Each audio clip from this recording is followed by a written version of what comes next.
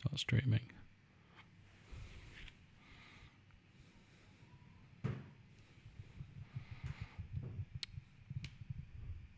Hello, everybody. Sorry Hello, about everybody. Sorry about that. that. Uh, I am now sat directly next to my router, but I'm going to have to be a bit quieter. Um, so, right, sorry. Where we we'll stitch we'll stitch this together in post. It'll be fine. Thank you guys for being patient. Uh, yeah. we promise we promise at some point we're going to stream and we won't have technical difficulties. We're still trying to work out all the bugs, but um, this is only our third episode, so luckily, uh, luckily we'll we'll get it right one of these days. So thank you guys for sticking with us and being patient. Yes. Uh, last we left off, we were talking about realism as it pertains to tuning with Vocaloids, and Cillia was was um, I had asked you about um, different attributes you you give to your voices to try to make them sound more human or more realistic. yeah. What are, what are kind of tips and tricks for that kind of um, for getting your Vocaloid sounding more more human? I guess. Yeah. Um. So there's things like um certain pitch bends that I use. Um, can't really show you them here, but um, you can start kind of learning what pitch bends um work well or sound more human by um one of the tricks I used when I was a while back before I was used to stuff was um I use a program called Vocal Shifter and I would put in some raw vocals there and look at what the pitch bends looked like. Like if there was a part in the song I really liked, um, I would look at the pitch bend that the singer had there and like try to figure out, hey, why does that sound so good? And then um, I'd try doing drawing that same pitch bend in Vocaloid and see, you know, how it affects the voice. And um, through that, you eventually find a few, like a few pitch bends that tend to pop up in most singers' vocals. Um, and such and kind of trends. You start recognizing some of the trends that are in vocals as well if you do that method. And it's it's not like uh, you you don't um, singers don't pitch into every note as well. There, yeah. there are some there doesn't have to be a pitch bend on every single note. In fact that would be more it's more unnatural if you are if you have a pitch bend on every single note Yeah, um, it's sort of um, because because there are notes that that singers just hit dead. Um, Yeah. So yeah, add, adding, but there are like um, lead lead into li- lead ins to lines, um, and and sort of the the tail end of lines always. Well, a lot of them tend to have some sort of um, vocal flair, whether it's a pitch bend or a vibrato or something. Um, so yeah, like, um, but I think what you said is a is a really good point. Um, sort of really listening to v- like good vocalists um, and listening to good uh, production, like song production, and I think it's I think it's really important to listen, especially to songs and singers that you really like, um, and figure out why like why do you like them? Like why is it during this sing this one song during the chorus? Why do I like this one part so much? And eventually you figure out like it's either instrumental or you're like, oh, oh, it's because of the way that that singer is hitting that note. And then you look in deeper and you like visually look at what they did, and then you can kind of um, push that thing that that feeling that you liked into your own notes if that makes sense. Yeah, uh, sort of like sort of like you said with the you don't want to pitch bend every note. Uh, we had already we had discussed a little bit and we also said that you don't want to put vibrato on every note either. And i think a lot of people are guilty of putting vibrato on every single note when they first start out either Yeah, because yeah. Of, of either because of the vocaloid pre-settings like if you haven't messed with the settings right out of the box uh, or simply because they think that oh well people have vibrato in the voice so i should put vibrato on every single note when in Mhm. reality that's a horrible idea yeah like even like for some songs you can kind of get away with like every other note having Mhm. vibrato but even then you have to like take some out because even yeah, every other note is still way too much in most cases some songs it works but for the most part like you have to still kind of weave it down a bit.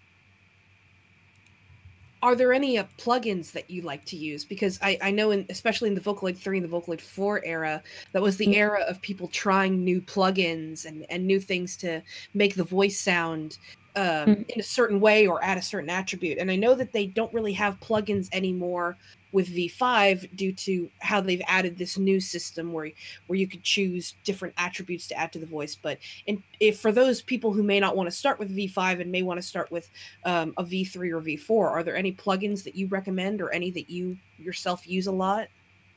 Yeah, so like there's um there's like the scene vibrato job plugin, and then there's the expressive vibrato plugin job plugin, which is like an extension of the scene vibrato, um, which lets you put in numbers to generate vibrato on a note.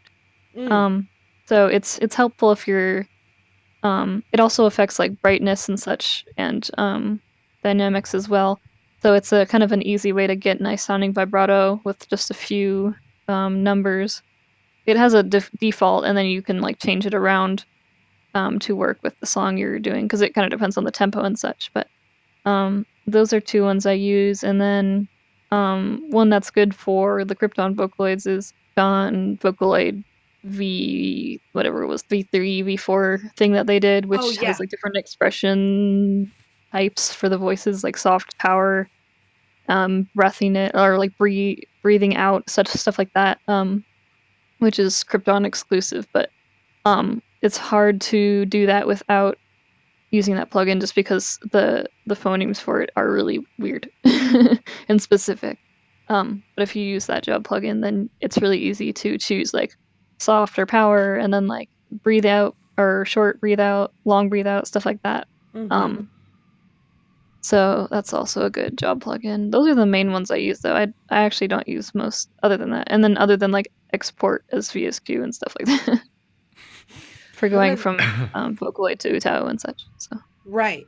One of, one of the main one of the main plugins I think people have been very curious about since uh, well not plugins excuse me but one of the one of the main attributes that Vocaloid now has that I think a lot of people use but maybe in the wrong way is Mhm. growl oh oh And- yeah, yeah. and that's another one we were talking about um it- just how people think that they should be using growl because it's there when maybe they really shouldn't especially with certain vocalists growl is just not going to work and it's completely unnecessary as well Mhm.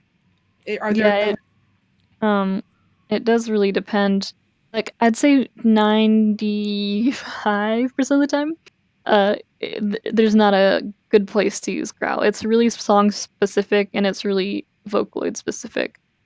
Um, for the most part, you don't really want to use it except for a very small part of a song. Like you would not want to put growl on for the entirety of a vocal. Like it, Mhm. it should only be like at the most like one second long of growl.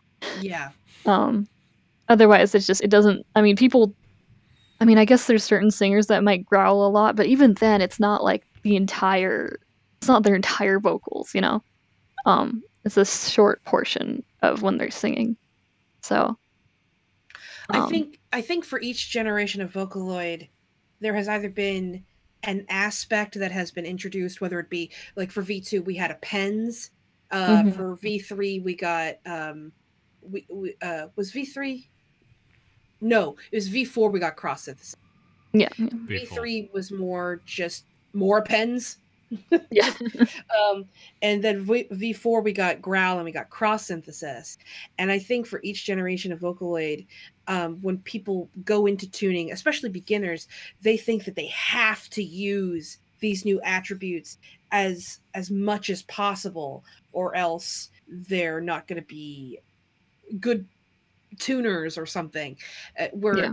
It, it's not a matter of using these new attributes. You can go your entire uh, tuning career and never use growl. I have never used growl, and I have plenty of vocaloids who can utilize it.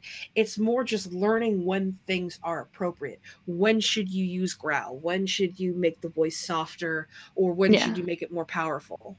Like um someone in the chat was talking about vocal fry with Vocaloid 5. Um yeah, now that's being overused. Mhm. like how growl was. Um and this like with vocal fry, it's the same type of thing. It's it's not the type of thing you use on every note, and it's not the type of thing you use every phrase. It's like every every well, I mean, it totally depends on each note. So it's not the kind of thing you can just put everywhere because Yeah. it will sound bad.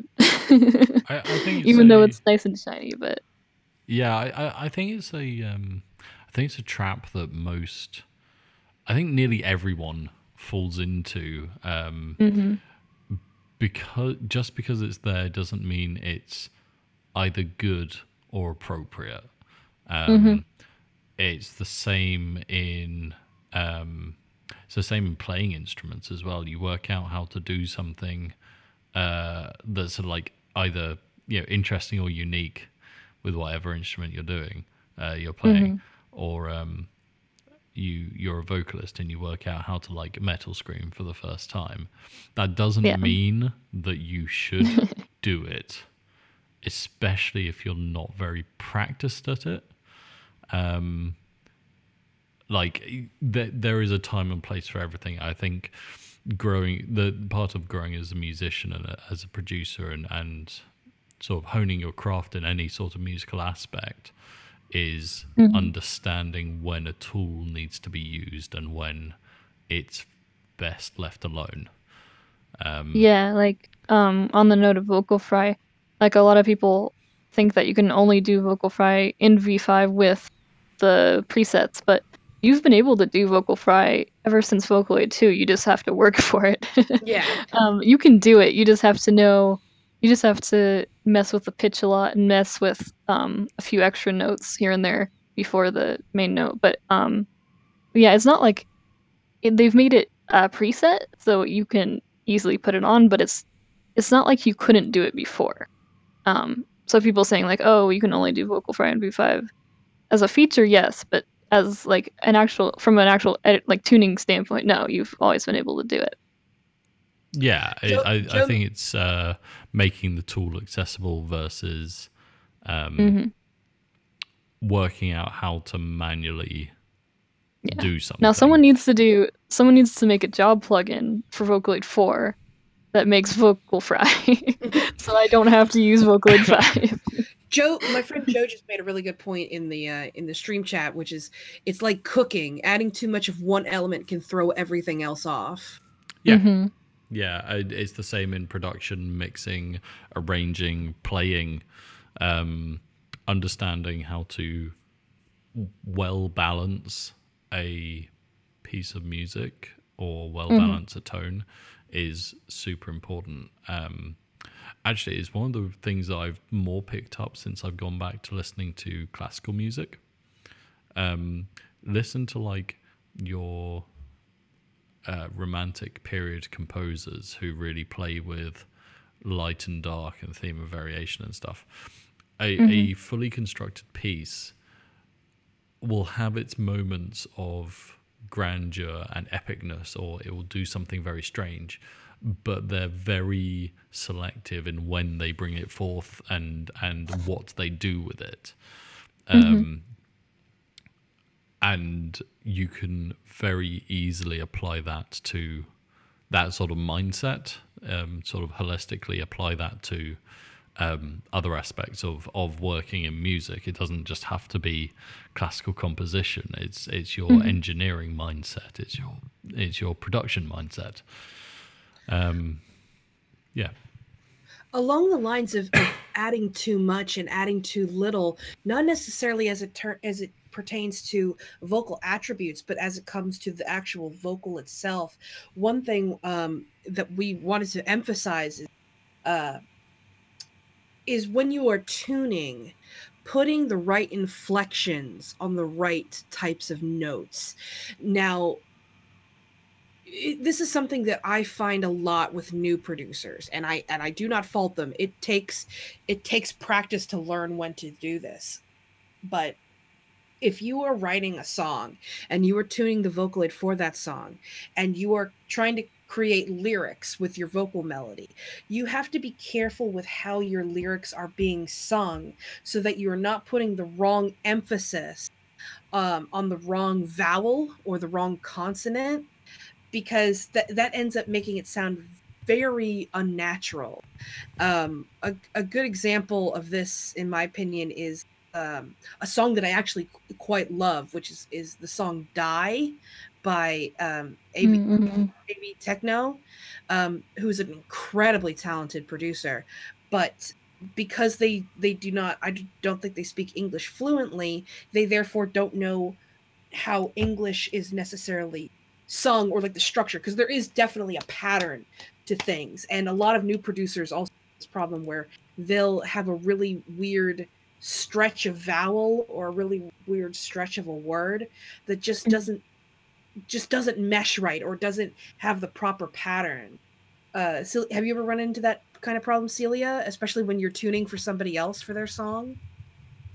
Yeah, um it's kind of well, it's more like it's less when I'm doing stuff for other people and more when um I'm just doing it myself.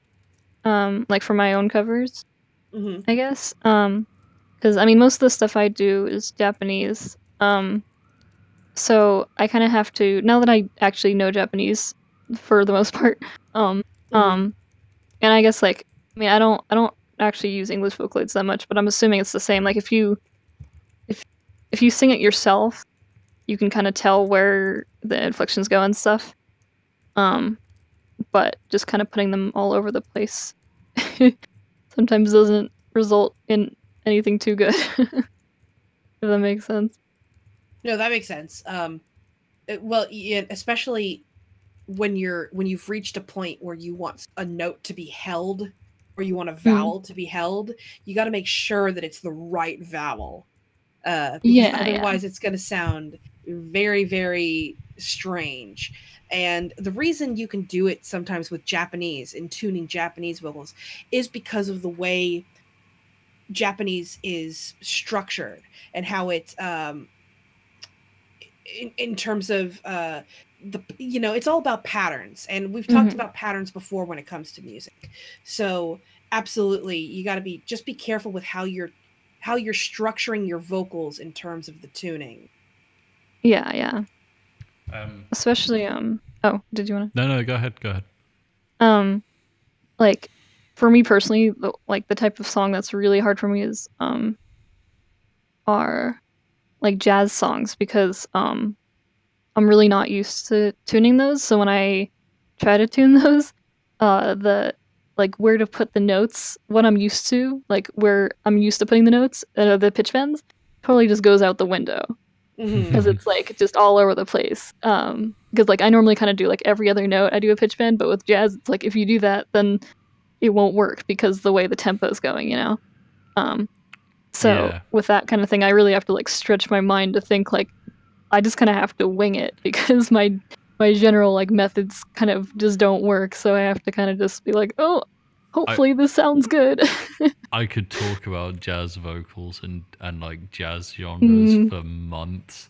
Um, Yeah, that's definitely like still Vocaloid's weakest point. I think is like jazz, like even just doing a pitch bend, going like mm, like even just that is so hard to do to make it sound like um smooth. I mean, like if you're editing in the pitch window or something, it's uh, it's just like jazz vocals is like such a unique style of vocal because it's very easy to slip into like soul when Yeah, you're, yeah. you're doing it and that it whilst it's got very strong ties and roots it's not um it's not completely faithful to Mhm. jazz as a genre and also you've got a thousand different types of jazz in terms of like and, and you know uh, you know the singers like all the classic singers are as diverse as you could ever wish to find. Yeah, Um, so it's like yeah you've got your your smooth crooners like michael bublé all the way over to your Satchmos and your Louis Armstrongs who eat gravel for breakfast. Mhm. and it's just like you know how do you how do you like um I, it very much comes comes down to the instrumentation and the genre um Mhm. but yeah just the general style you're going for it's yeah jazz is like a really it's a really difficult one to get into especially if like that's not like um especially if it's not like the the style of music you're most exposed to or most listened to. Um, yeah, that's why um I think for me, like rock is the most fun one to tune just because I can brute force everything. Mm, like Yeah. with um like with ballads and stuff, I have to be careful of everything I do because you know it'll come through because the instrumental's not covering that much up. But with rock, I can just kind of like throw as many notes as I want into like a single phrase, and it'll just like I don't know. I can put end breaths like way up or like way down on the pitch, and it's like whatever, it works, I guess. But with ballads and stuff, you know, it's like I feel like I'm picking up glass off the ground, and I'm like, oh, can't get, you know, I mean, don't want to get cut by that. it, it sort of mirrors the the the real world in in a in a poetic way in that like um rock singers tend to be untutored or untrained especially when they start you know it's Mhm. your mates in a band most of the time mhm. Yeah. until you get further into your career and so you're sort of just working out as you go along and things are rougher um they are pretty rough and ready whereas you tend to find Yeah. the the artists that are now doing ballads have had some kind of tuition or training unless they're Yeah, very they've like gone, they've had a class or something, or like they've Yeah. had, yeah Some some sort of kind of classical training choir. or vocal training.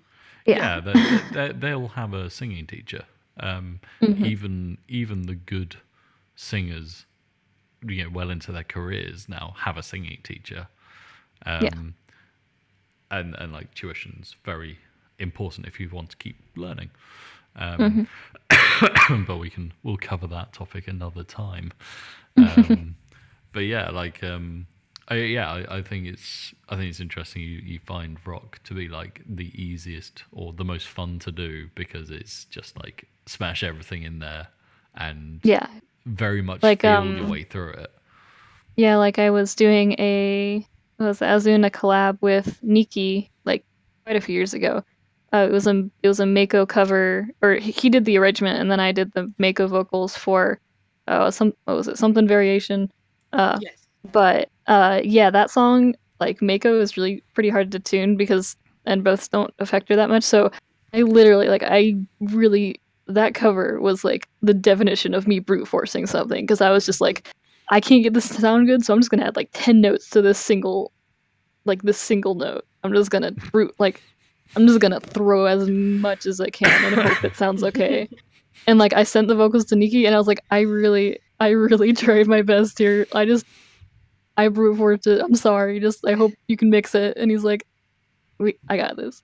I, Don't he, worry, he saved my I got butt. But yeah, I It- brute forced that.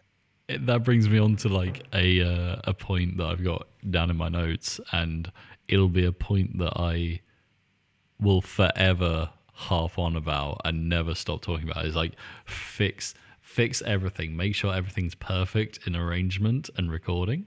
Do not fix it in the mix. It's so hard and it never works. Like you, th- you can tell a good recording session from a bad one, both Yeah. in terms Yeah. of like output and quality. And the good one will always sound better after production, no matter how much time you spend on it. Mhm. Um, yeah, sometimes it's like there's just no helping it. That's how the session goes, or that's how the vocals come out. But like, if you have the opportunity, like getting it right before it even touches like a DAW or a mixing console is, it makes the rest of the journey so much easier. Yeah, I mean, I had that experience, but with like real vocals. Like when I was in Japan, I went to a recording studio to record a cover of something, Mm. and um, I recorded it, and I was like, I think I did okay. And when I got back and put it on my like listened to it while I was mixing, I was like, oh god, yeah, I'm not uploading this.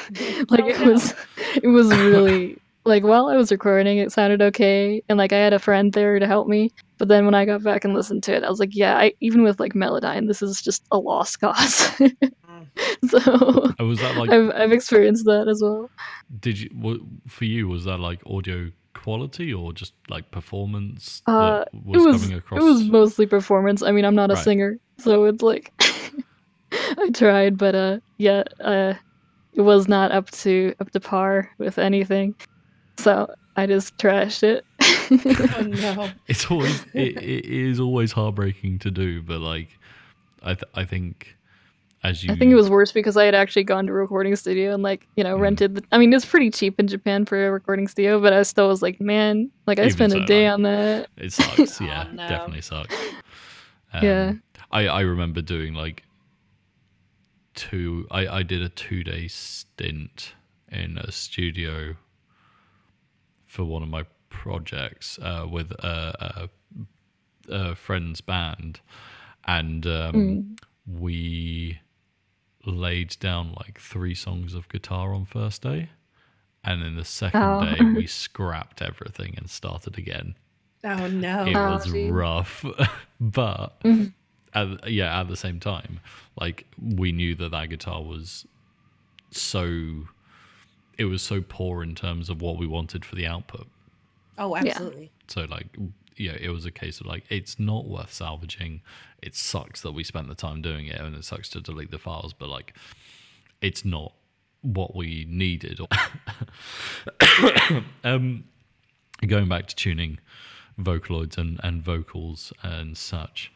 Um, one of the things that um, one of the problems that I tend to find with um, bringing vocals into a mixing project um, is really compressed and really loud breaths. Um, Oh yeah, yeah, yeah. because a lot of vocalists go through like an EQ and compressor before they hit the mixing desk, um, just so like like there's less to work, there's less to do in the mixing phase. yeah. Oh man, that Um, makes me. Can I can I jump in really Yeah, quick? yeah, yeah, Actually, go ahead. Um, that does remind me of a pet peeve I have. Not really a pet peeve, but something I've been seeing people do is um, with Vocaloid Five. So you, there's a button to add breaths, so it will like automate automatically add breaths to the track. Um, and people are exporting the track and then mixing it with that. So they're they're compressing like the whole vocals, including the breaths. So it leads to that exact issue where the breaths like you'll be singing and then you'll just hear like like where did that come from? Um, and like it didn't used to be an issue because you know people would have to manually put in you know put in the that's what I do I manually put in the breaths afterwards.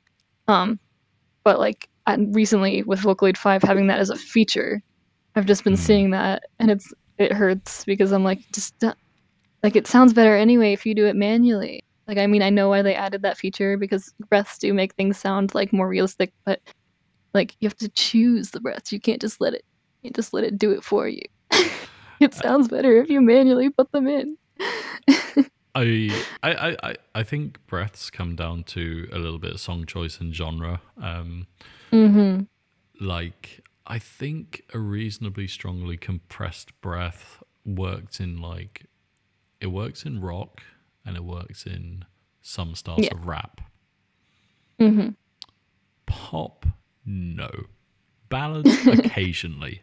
Depends. Yeah. If like the breath is very sweet and airy and light and beautiful in the rest of the song, then that's great. If it's a Yeah, kind like of it- it- Yeah, that's that's not what the good. Vocaloid Five sound. I'll tell you a is like. really good p- placed sad breath, so like like a shaky like, and like like if there's been a Hmm. break and they'll do like a shaky kind of sad breath before they start singing again, I'll be like, Mhm. oh, child, no. Yeah, that's um. I did that with my my close to you cover with V Flower.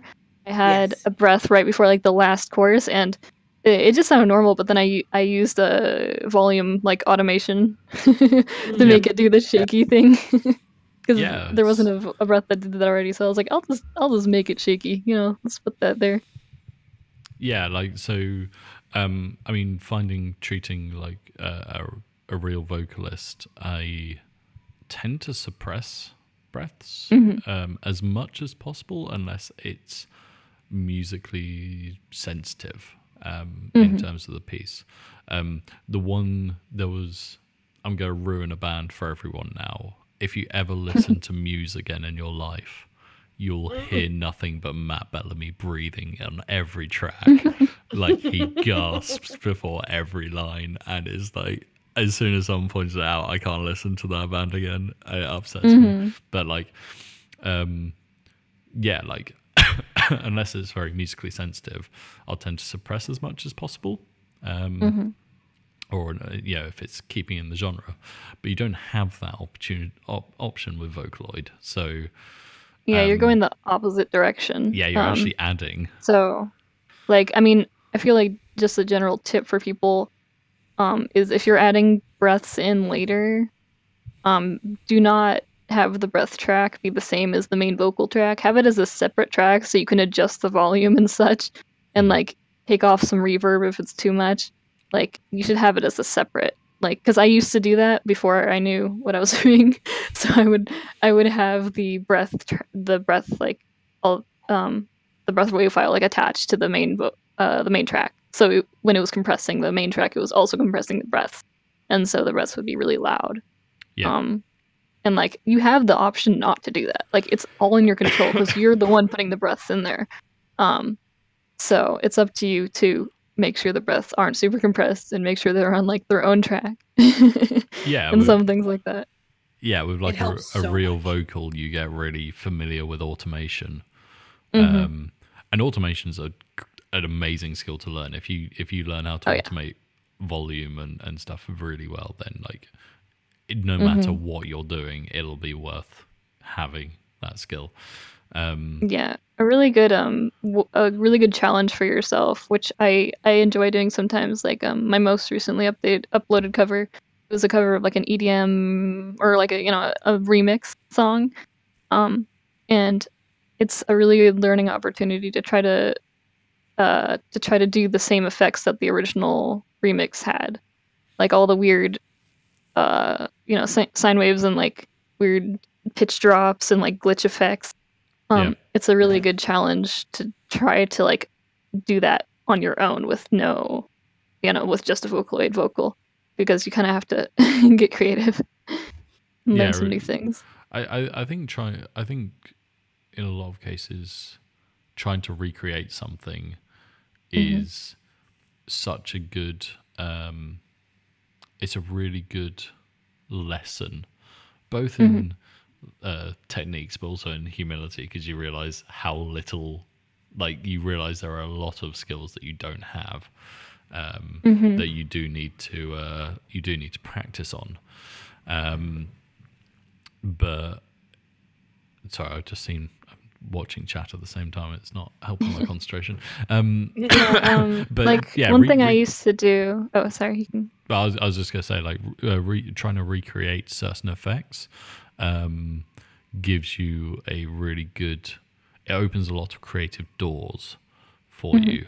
Um, and trust me, the first time you try to create recreate an effect will be the worst way you try and do it. It'll be like the jankiest fix you've ever done.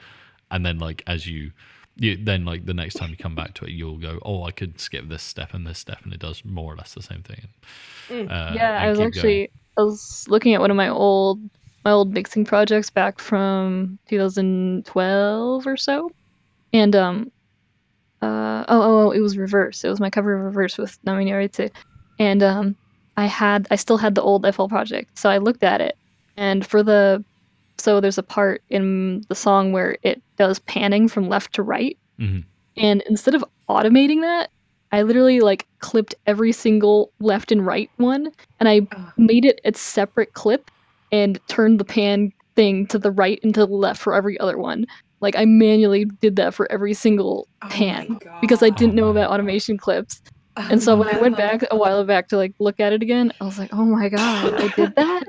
Like why I did that?" I'm about to blow your mind. I'm pretty sure FL Studio has uh, like an auto panner VST in it as well.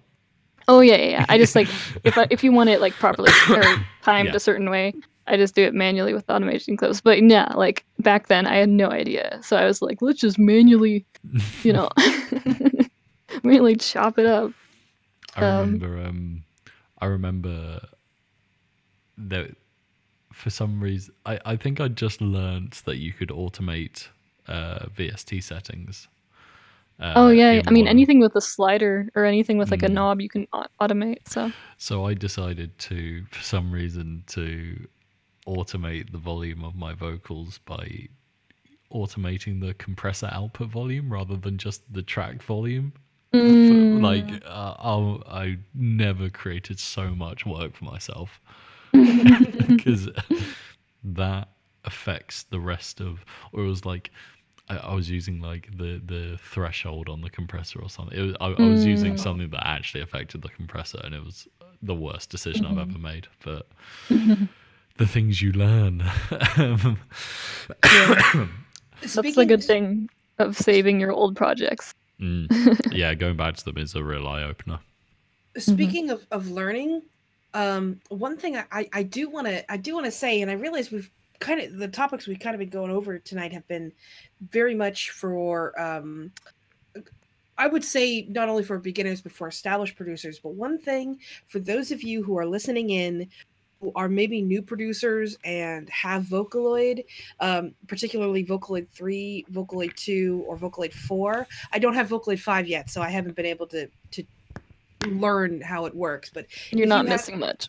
well, if you have your two through four program now and go to your uh-huh. singing singing styles and singing settings, because there's one thing I would say I have been using the same singing settings for since I've started tuning Vocaloid, and it, it it's just really helps me have a good foundation for whenever I start tuning.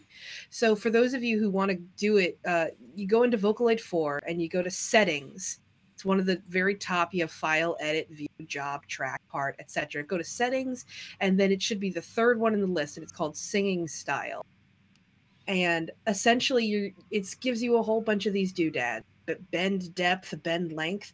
Essentially, what I think Cillia and I keep ha- both maintain the same settings, where we Mhm. set every single thing to zero. We unclick everything so that nothing is checked. Uh, the only thing that we have any automation on or any type of editing on is accent, which is the very last thing. And I have mine set at 50%. Mhm. Uh, and Me do you have yours? and, and everything else we just have set for zero. And what I do whenever I start a new project or or import a MIDI to then start to tune is I will select everything. I will uh, right click into the into the track and do either select all or select all events.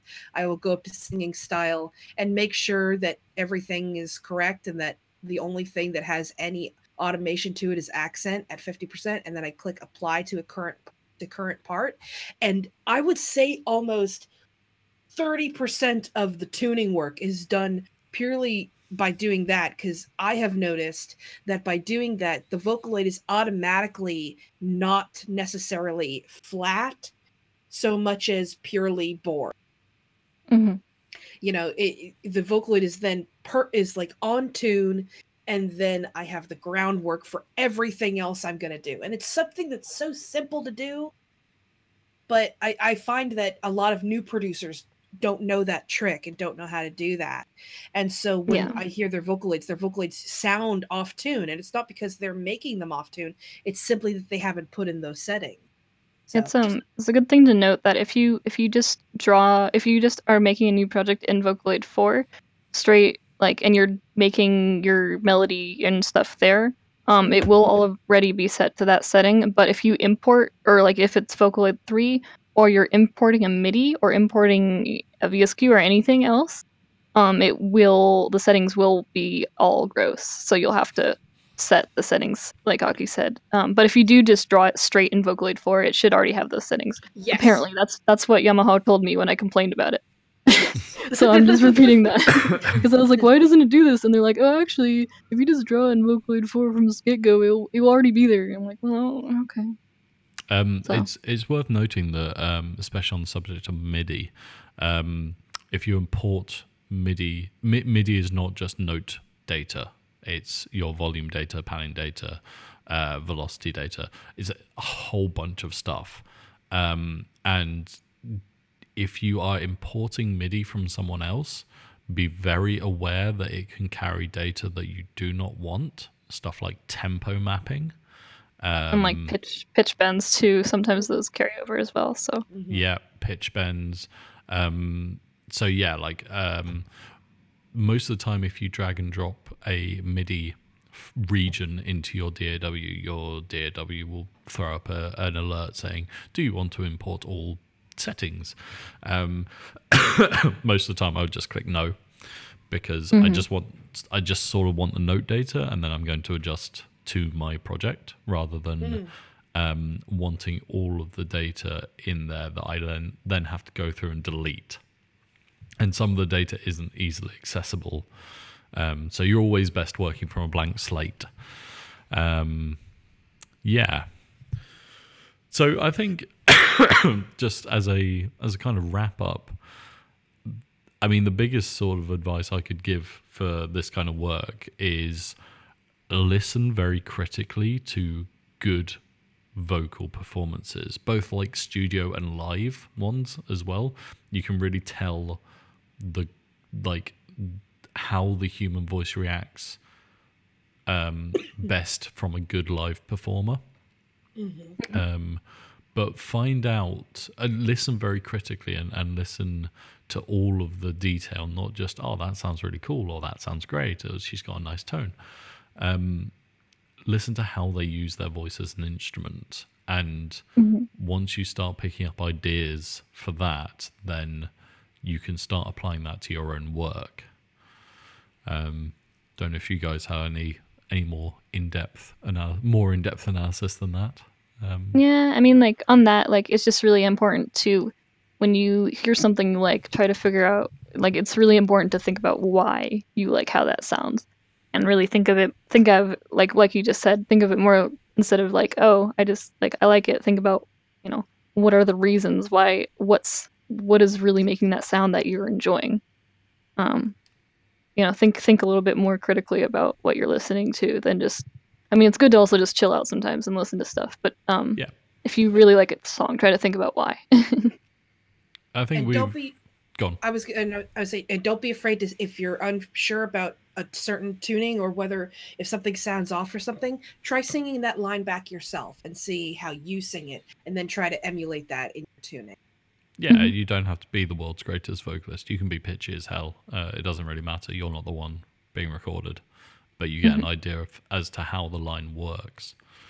Um, I think it's something that we talked about before. Is just take the opportunity to critically listen to music and and and parts and performances, um, and you'll find your musicianship and your production skills move ahead a lot faster than if you were just practicing on your own and not thinking about it um, in, in in a critical sense. So yeah, um, go go home, do some homework, and analyze, think, and yeah, and hopefully your uh, projects will come on leaps and bounds. Um, we're going to just adjust the uh, podcast timing for um, as all the topics for timing's sake, because Cillia has better places to be than spending the night with me and Aki. um, Oh, I that sounds. i have some things i have to do um, so yeah, we're just going to go into a uh, Q&A section now uh, before we sort of wrap up. Um, send your questions to hashtag ZG podcast um, and we will answer them or drop them in the chat if uh, and hopefully we'll see them. Um, yeah. There's a there's a question to start us off with uh, for Cillia. Um, what was your experience working with Nikki for silence, and how did they feel about using an English Lloyd in particular? Yeah, so for that, um, like before, well, while he was, oh, okay, before he started working on it, he had been really listening to this. Forget what song it was, but it was like a an English pop, like EDM song that was really high on the charts recently, and he had like tried remaking it, and he's like, "Man, I really want to make a song like this, but like with Vocaloid." And Hmm. he's like, but I don't know any English because he doesn't. He doesn't know a single bit of English. Um, and so he was like, "Hey, what if you did that for me?" and so I was like, "Oh, okay." Um, that was actually an interesting experience for me because I had to attempt to, like, he just handed me his lyrics and he's like, "Good luck." Um, and they're all in Japanese. They were like all in Japanese, and at that time, I wasn't. I still wasn't that good at Japanese, so like I really tried to make some good lyrics, but I also I had no experience in that regard either. So like the lyrics aren't that great, but like in my defense, I didn't know what I was doing. Um, but like yeah, it was it was definitely an experience because uh, I remember specifically on, in our Skype messages at some point when I sent him the vocals, he was like, "Oh my god, English Vocaloid's consonants are like so loud." and I was like, "I'm sorry," because he had never, you know, he'd never tried mixing English Vocaloids before. So he was like, "How do you do this?" I'm like, "You're asking the wrong person, dude." like Nikki was like, "What do, how do, what do I do?" And I'm like, "I don't do do something. I don't know." automation, automation, automation. Yeah, I think his Compressors and project style was pretty crazy because he was like just trying his best. Um, and it was also like I hadn't really used. I don't even know if I had used. I don't really use English Vocaloids that much, so it was a learning experience for me as well because I'm not used to having to mess with pronunciation that Mhm. much. And Avanna was kind of like, like at the time that was kind of the only thing I could think of like for for. A, but um, yeah, that was it was definitely an experience. I don't know if I'd want to do it again because it Well, it came It out was hell. fantastic. You should, you should know you. it came out marvelous, and I'm proud of both of you. He he did so much work because I didn't do any of the harmonies. He that was all him. Mm. He he did that. so I just did the main vocals. So props to him, honestly. Uh, we got another question for you, Cillia. Um, I love your tuning on End Roll. Uh, can you comment about how you got in contact with the amazing Natsushiro uh, Takaaki? I think it's pronounced. Oh yeah, yeah. Um, yeah. For Natsushiro, it was actually he approached me because I had covered his song "Near," um, with Mm. And Una, and I guess he it, it must have been like on the rankings or something, or he found it on YouTube. But um, he DM'd me on Twitter and he's like, "Oh my gosh, I really love what you did there. Like, could you tune some of my songs?" um, because I guess he really liked how it sounded. So he was like, "Can you like you know I have a few songs in mind. Could you maybe would you be interested in tuning them?" Um, so yeah, well, he he approached me. I don't I don't really have the guts to approach anyone really except for Nikki because like he's he's my buddy, but He's really Um, nice. he's he's the best. But yeah, like uh, he approached me, and that's how um, that happened. For that was Juggernaut, and then End Roll was the next one. Um, and that one, he actually originally was using Miku, but I was like, "Hey, can we use someone else?" Mhm. and he was like, "Yeah, sure, whatever. Like, let's just go with something." So he he let me choose the vocal for that, which is why it's VY1, which is uh, not common for like big producers to use, really. So I was happy that he was okay with me using her. Um, Razzie Roo, who I know has just left uh, or left the chat earlier, um, wants to know what some of our musical inspirations are. Um, I don't know if you guys. So, A- Uh, Aki, where where are you drawing my, my inspiration biggest from? inspiration in terms of what led me to music, I will always credit with uh, Neo Diu, also known as Bin Yu P, but I think he Oh, mostly goes so by, good. He's by so Neo good. And he's come back. He had kind of gone Mm. away for a while, but he, but he came back and he's he's more amazing than ever. I adore that man. Um, I adore his music. I think he's. I've only spoken with him very briefly, but he's super nice and he's uh, just the most amazing producer. And he has a style unlike anyone else, both in tuning and in music. So if you guys haven't heard him before, look up Ryu Ryu, spelled R Y. R Y U R Y U. He made my favorite Vocaloid song of all time, which is April Fool. Fantastic. Mm.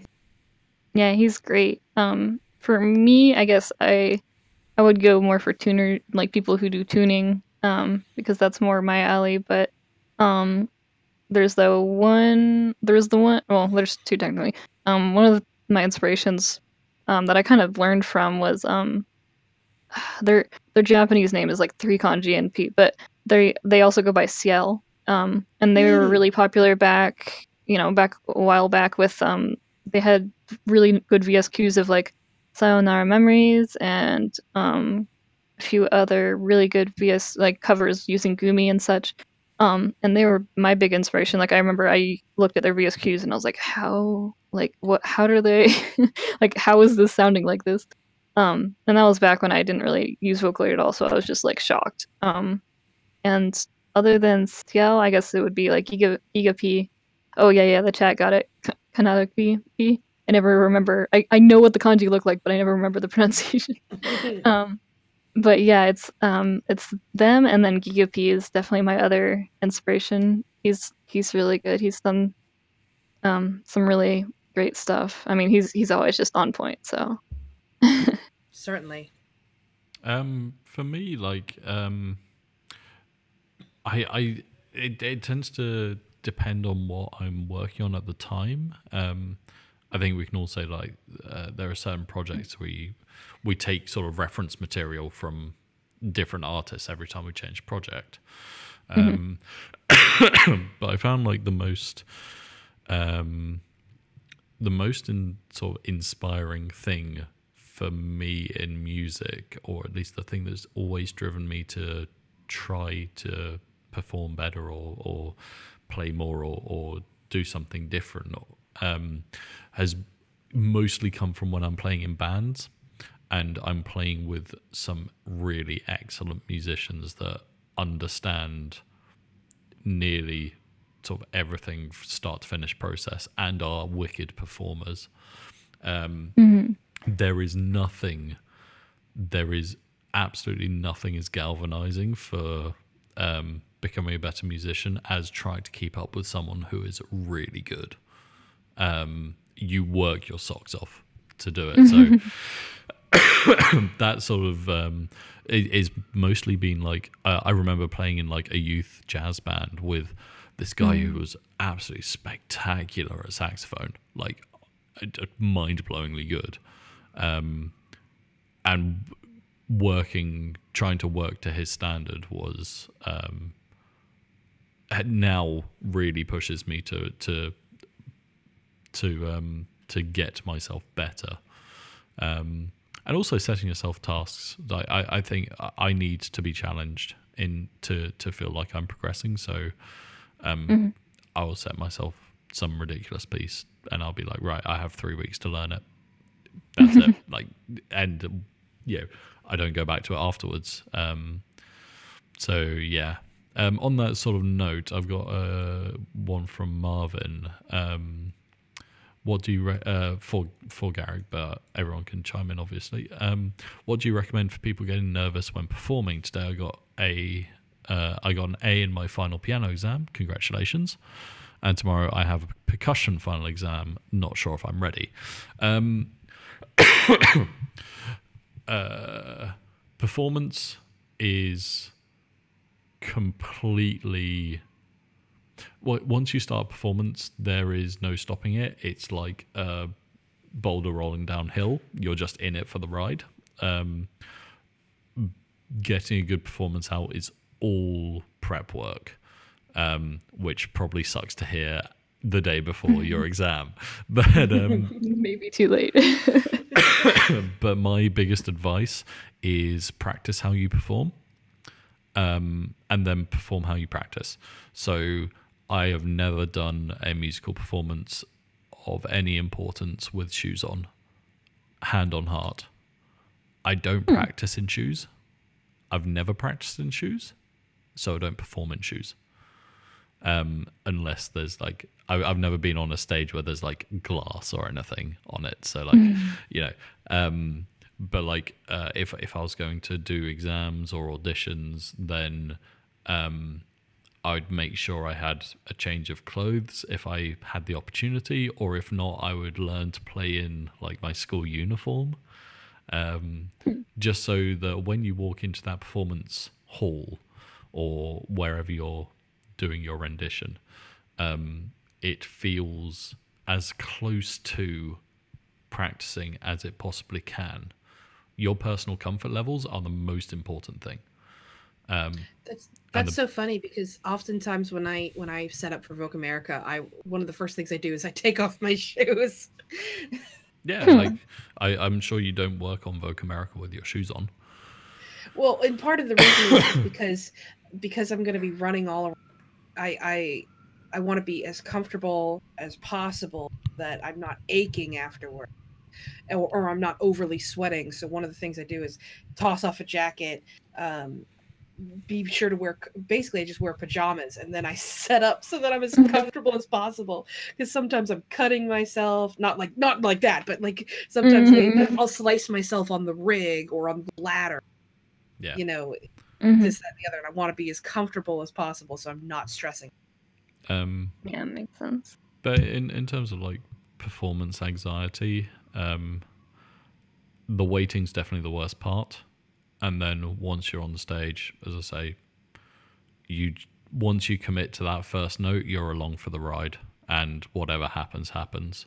Um, the big, the biggest lesson I ever learned was don't stop and hit your rhythms first. Pitch can come later. If you play a rhythm with enough confidence, it doesn't matter what notes you're playing most of the time. um, only the people who are super familiar with the music are going to ever be able to like really root out your mistakes. Most of the people there are there to hear you play and are hopefully enjoying the experience part. But do everything you can to um, be as comfortable as you can. So yeah, practice in the clothes you're going to perform in. If you never practice with shoes on, don't perform with shoes on. That kind of stuff. Um, yeah. Cillia, I think this is a good question for you and I from MEK. Um, do you start making the melody directly when you when you are tuning, or do you start with tuning straight away? Um, and I think I think that basically what that means is, do we have the full melody created in mm-hmm. front of us mm-hmm. when we tune, or do we start it from scratch and and make the notes as we go? Uh, well, for me, I I always have the entire melody out first and then I'll go in. One, mm. because uh, then I can kind of pick and choose where I start. Like, I'll normally start with the chorus because if that doesn't sound good, then I'm not going to finish it. um, so I, I normally tune the first chorus first. Um, and like, but I make sure I have the rest of it out just so I can see how I'll mix it as well. Um, and also because a lot of people, well, I end up, I didn't used to, but now that people um, sometimes if I distribute like a UST or VSQ, people will want the base as well. Um. So I do make sure I always do that now. I didn't. I used to just like only save the tune version, um, but it's also nice for other people if they want to tune it later to have a base. Yeah, I'm identical. I always have the the full melody composed ready um, before I ever start tuning, and that way, if I have to, if for instance, if I want the the first verse to have the exact same style of tuning as the as you know the second verse or vice versa no pun intended then um, i know where that verse starts and ends. So i can select what i need move it over make the edits i need. Um, you should i i am of the opinion that you should always try to have at least the initial base melody in front of mm-hmm. you and you can change it as needed. Yeah i think the only time i don't use a have a base melody is like when i am really not confident that I can make a cover of a song, and I'm like, I'll just do like two phrases of the chorus, and if I can't do that, then I just won't do the rest of it. Like, but most of the time I do a full base, but sometimes when I really am not just I'm really not confident in a song, or I really am not confident like if I can even make a cover of it, um, I won't commit an entire like because it does take a while to make an entire base, so sometimes I won't do that. But for the most part, I I do make a full base. Now, Cillia, I don't really necessarily have any opinions on this question because I unfortunately haven't gotten to use this program. But we've got a question from Infoholic, which is um, What do you think of the way Alter Ego uses automation and functions as VST compared to vocal? Have you used Alter oh, Ego at all? No, I can't have opinion on that either. I have not even touched yeah, it. I haven't. I have. I have one Alter Ego bank, but I have not installed it. So I, hmm. I yeah, we don't yeah, really I've, have much. I've literally never it. touched it in my life, so I can't get an opinion. We'll, we'll get we'll get back to you on it mm. when we have an opinion. We will let you know. We, but uh, yeah, we, uh, I have not used it yet. Uh, so, uh, talking about different vocals, I was wondering, do you guys still plan on making a male rock vocal? As this something we're really missing. Um, I don't think we have anything in that line at the moment. Um, but then again, I am meeting a few people on Saturday. I'll bring the question up, um, see if anything is planned or whether it's uh, something we can do. I will ask for you about male rock vocals. Um, I'm assuming you want a Vocaloid rather than a voice bank, uh, uh, rather than a sample library. Um, that's uh, yeah, Chris. So yeah, I'm assuming you want a Vocaloid rather than a, a sample library. Uh, I will ask. Um, yeah, one more question. Uh, Cillia, do you want to just pick one out of the hashtag? Do you have the hashtag up? Oh, uh, I If I do don't, not. not problem. No, I only have that's the chat up. Uh, Aki, do you Um, want to just pick one more question and we'll wrap up? Yes. Um, uh, well, let's do one more for Cillia because after all, guest. Um, For Cillia, uh, do you? uh, Well, this is kind of similar to what we were talking about.